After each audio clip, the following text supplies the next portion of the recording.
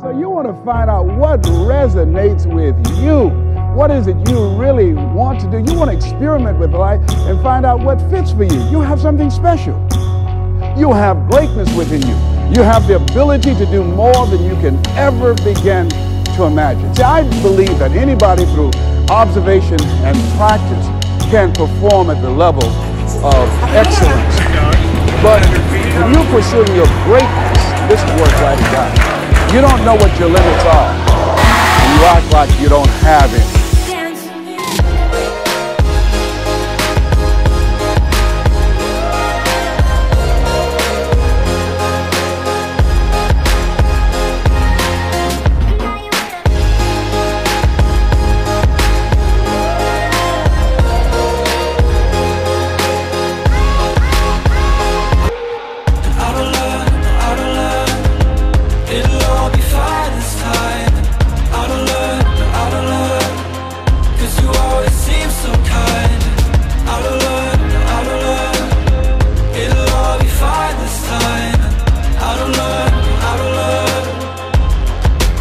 So please welcome the first candidate, Mayudi!